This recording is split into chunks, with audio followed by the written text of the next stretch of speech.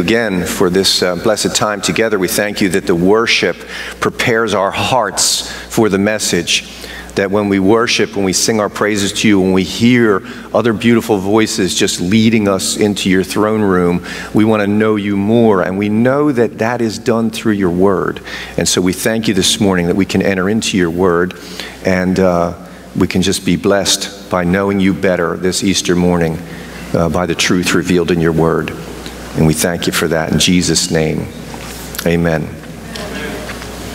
You know, it's awesome this morning, you know, to have so many young people joining us up on the worship. They sing so well.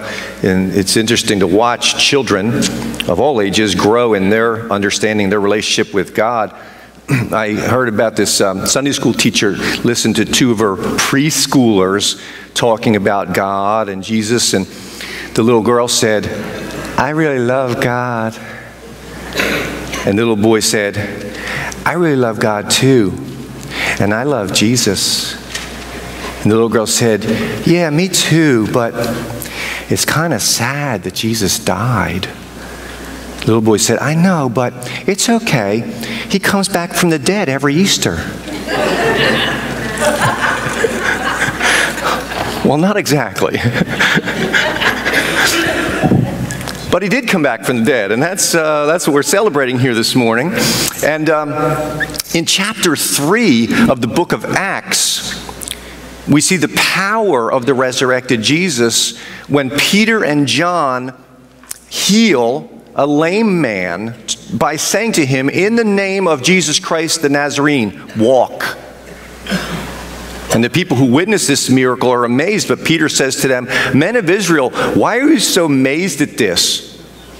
Why do you gaze at us as if by our own power or piety we had made him walk? And then Peter begins to teach them about the power of faith in Jesus. He says, The God of Abraham, Isaac, and Jacob, the God of our fathers, has glorified his servant Jesus, the one whom you delivered and disowned in the presence of Pilate when he had decided to release him. But you disowned the holy and righteous one and asked for a murderer to be granted to you, but put to death the Prince of Life, the one whom God raised from the dead, a fact to which we are witnesses. And on the basis of faith in his name, it is the name of Jesus which has strengthened this man, whom you see and know. And the faith which comes through him has given him this perfect health in the presence of you all. Now, keep in mind that what's amazing about everything that Peter's saying is that it wasn't really that long before this, before he's proclaiming this, that Peter, John, James, all the disciples were hiding from people. They weren't standing on the street corners proclaiming anything, they were hiding. We see in John 20, verse 19. So it was evening on that day, the first day of the week, which would be Sunday, when the doors were shut and the disciples were for fear of the Jews. Jesus came and stood in their midst and said to them, Peace be with you. So, obviously, the question is why were the doors shut? Why were they hiding in fear? They were hiding in fear because up to this point, they actually thought that their teacher, their leader, the guy who they had, had believed was the Messiah, was dead. And they had seen the Jewish authorities hand him over to the Roman authorities. They had seen the Roman authorities then crucify him, call him a troublemaker, an insurrectionist, claiming to be the king of the Jews. These disciples had seen the whole thing. Now, they ran away, but they were watching. They saw the arrest, they saw the trial, they saw the sentencing, they saw the beating, they saw the crucifixion, they saw the burial. So, make no mistake about it, the disciples had every reason to be fearful. Because if the authorities had done these horrible things to their leader, then maybe they would be killed next. That's the reason why Peter ended up denying three times he ever knew Jesus. I don't want you to do to me what you're about to do to him. So then, how is it that Peter and John, just a short time later, are praying for healing for a lame man in the name of Jesus. Because let me say, tell you something you don't ask for somebody to be healed in the name of someone who's dead. Because dead people don't have any power. So, the significant difference between the disciples in hiding and Peter and John proclaiming healing in Jesus' name is found in what Peter says in verse 15 there when he says, The one, Jesus is the one whom God raised from the dead, a fact to which we are witnesses. Because everything changed when Jesus appeared to these fearful disciples when they were hiding behind closed windows and locked doors. Because the resurrection is like a game changer. It doesn't really matter how the disciples felt before the resurrection. It doesn't really matter that they were fearful. It doesn't matter that they were hiding. It doesn't matter that they had lost all hope. The only thing that mattered was that Jesus came back. And that understanding is the setting for what we're going to see in Acts chapter 4 as we look at this today. We're going to show you a little video clip here involving Peter and John as well. Priests and the captain of the temple guard and the Sadducees came up to Peter and John while they were speaking to the people.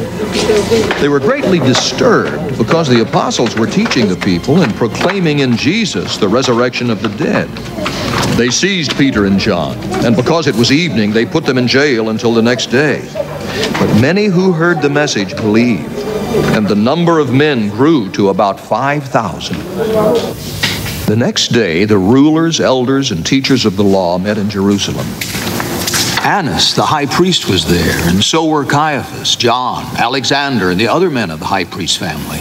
They had Peter and John brought before them and began to question them. By what power or what name did you do this? Then Peter, filled with the Holy Spirit, said to them, Rulers and elders of the people, if we are being called to account today for an act of kindness shown to a cripple and are asked how he was healed, then know this, you and all the people of Israel. It is by the name of Jesus Christ of Nazareth, whom you crucified, but whom God raised from the dead, that this man stands before you healed. He is the stone you builders rejected, which has become the capstone. Salvation is found in no one else, for there is no other name under heaven given to men by which we must be saved. So keep in mind that this group of guys that Peter and John are now standing in front of are the exact same group of guys that sentenced Jesus to death. The Sanhedrin, the, the ruling elders, these are the same guys that had the power to turn Jesus over, and Peter and, and John should be shaking in their boots, but they're not. They had just spent the night in jail over this. But they're bold. They don't care.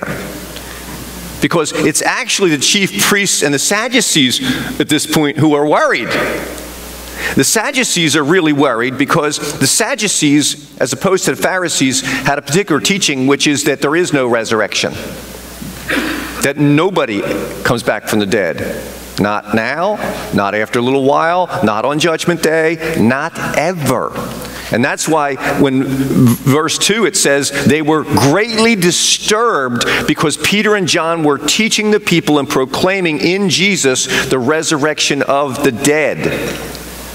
And it wasn't just a matter that these were two babbling fishermen talking about something foolish. These men were claiming they had seen Jesus alive again. And they were very convincing in saying so because verse 4 says, Many who had heard the message believed, and the number of men came to be about 5,000. If you can get 5,000 people to believe what you're saying, you must believe it first. And Peter and John believed that Jesus was alive because they had seen him. And so this response puts the Sadducees into a panic mode So they locked the disciples up, the two of them overnight, and then they put them on trial the next day. And they, this is the accusation or the question they bring to them By what power or in what name have you done this? In other words, we know that this man used to be lame. We know that now he can walk. In fact, he's running and jumping and leaping all over the place. The issue is are you claiming that there's some sort of magical power that healed this man and that that power comes from your faith in somebody who is dead? Well, Peter starts off in his answer with an extremely bold statement. In verse 10, he says, Let it be known to all of you and to all the people of Israel that by the name of Jesus Christ the Nazarene, whom you crucified. So, in other words, what he's saying to them is, I understand why you think he's dead. You killed him. But then the next thing he says is even bolder whom God raised from the dead.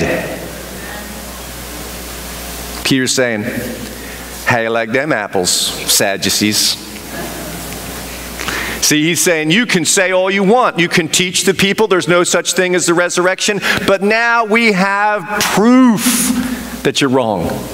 We have seen Jesus resurrected. This is how John expressed it himself in 1 John 1 1.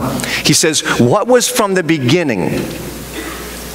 What we have heard, what we have seen with our own eyes, what we have looked at and touched with our hands concerning the word of life.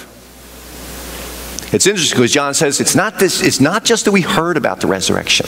They heard about it first because Mary Magdalene and some others had seen the empty tomb. They heard about it. But he says we've seen it. Oh, and by the way, we didn't just see it, we touched him.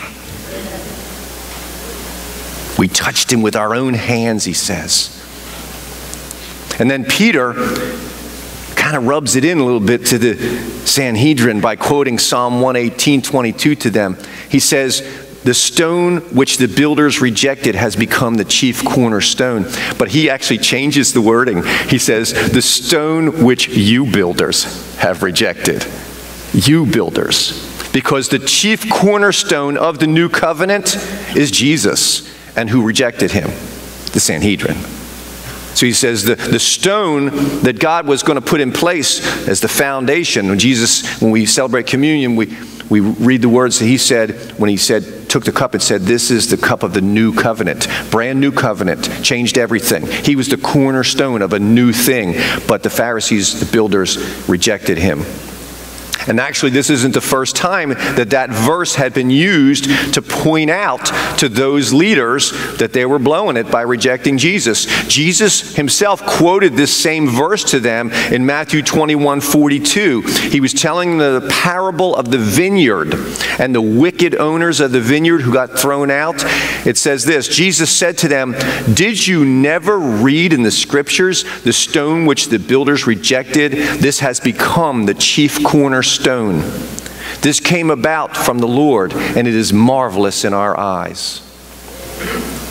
See, that's really the bottom line about the resurrection. It was the thing that changed our lives. The Lord did it. It's marvelous.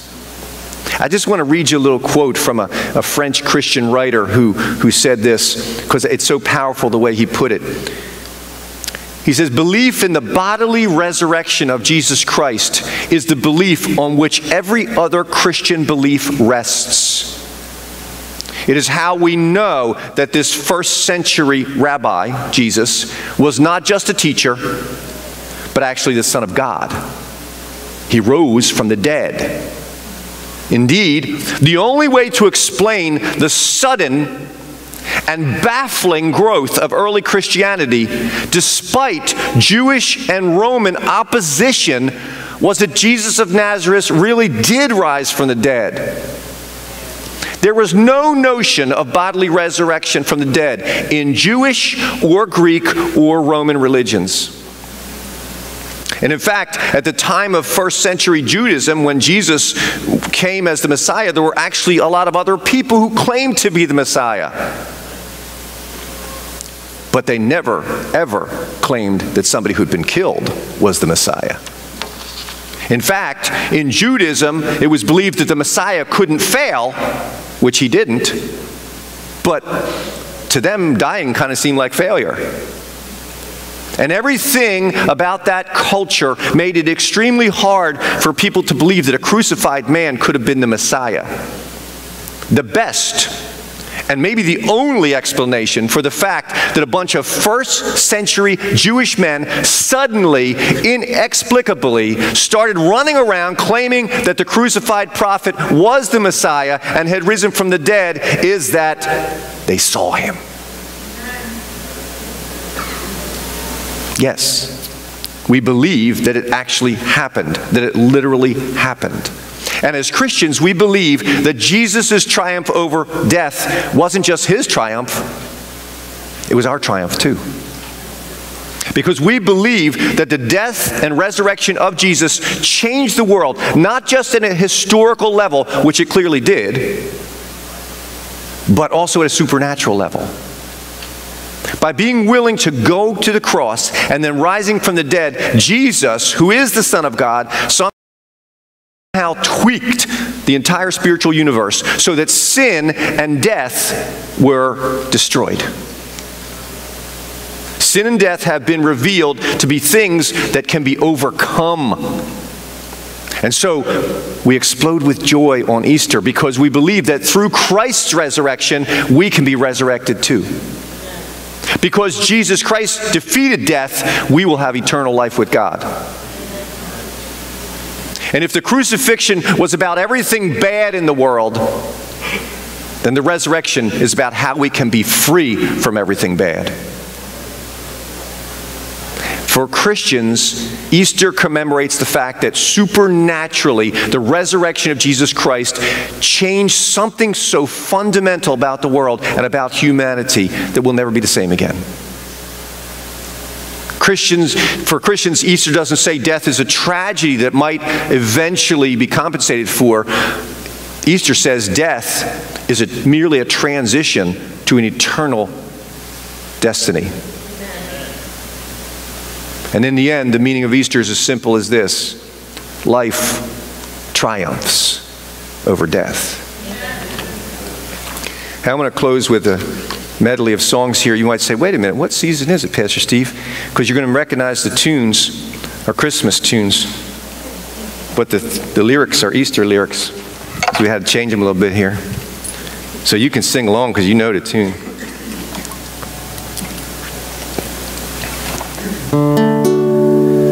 Hark the herald angels said, Why seek Jesus with the dead?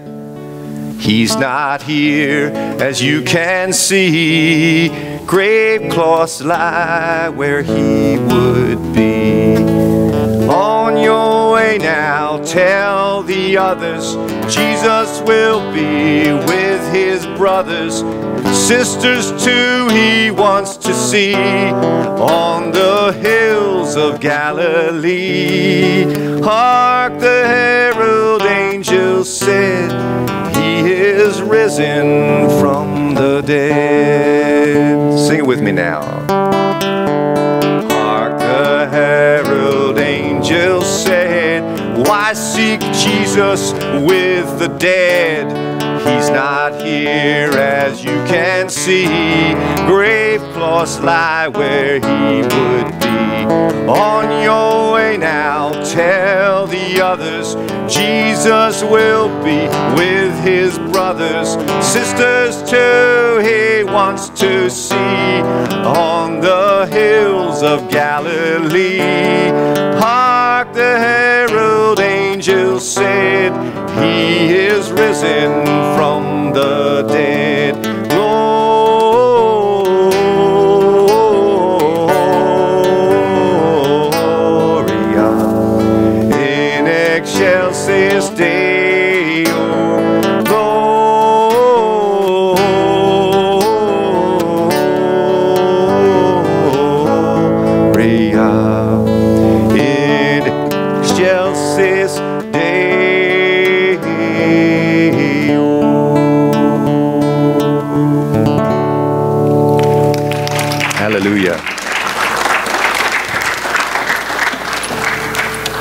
In excelsis Deo, glory to God in the highest. Father, we thank you. We give you glory, not just eh, eh, at the birth of our Savior, Lord, but at the resurrection of our Savior. We understand that He came to die, but He came to defeat death so that we would never have to worry about death. Yes, we will pass through what Psalm 23 calls the valley of the shadow of death when we leave this earthly life, but we go immediately to an eternal life that's been prepared for us by Jesus, by the power of what He did for us, by His sinless life and His perfect sacrifice and the power of resurrection in Him and now in us. We thank you, praise you, and give you all glory in Jesus' name. Amen.